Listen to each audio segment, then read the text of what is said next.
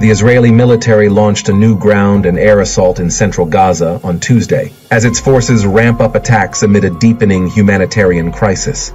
The IDF claimed Tuesday afternoon local time that fighter jets were attacking Hamas targets in the Bureij area at the same time as ground forces that are operating in a targeted manner and with intelligence guidance in the same area. CNN cannot independently verify the IDF statement. The Ministry of Health in Gaza said that 15 people had been killed and dozens injured during the Israeli operation with the casualties occurring east of the Bureij and Al-Maghazi displacement camps. It said the local Al-Aqsa Martyrs Hospital was overwhelmed with admissions. A CNN producer in the area said that at least six bodies had been brought to the hospital, along with more than 30 injured people.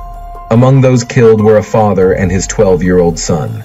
When an artillery shell hit an apartment building east of Al-Bureij, according to the CNN producer, as well as a boy and a girl, a woman in her 20s was also killed. The ministry said the number of patients was more than three times the hospital's normal capacity, and that it was unable to bear receiving more martyrs and injuries in light of this dangerous aggression against civilians.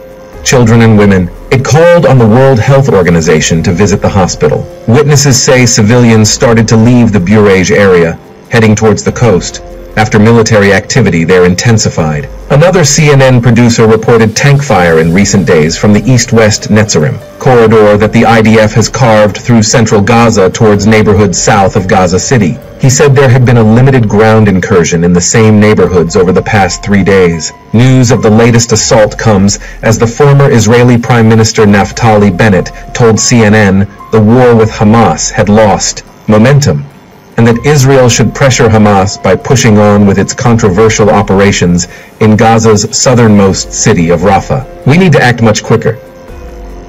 This whole war is going on way too long. We could have done Rafah 3 four months ago. I think a combination of poor execution of the Israeli government and the American administration's constant slowing down of Israel coupled together made for a very slow and prolonged war. Bennett told CNN's Jake Tapper. He said that prolonging the war is what Hamas wants, and the only way to get a ceasefire and hostage deal on the table is to put more pressure on Hamas and push harder in Rafah, adding that operations there have not concluded. He said Israel is paying an international price as other countries criticize the war's humanitarian toll. We are trying to conduct the most just war in history, Bennett said, but everybody in the world is double guessing and telling us how to do it and how they would do it better.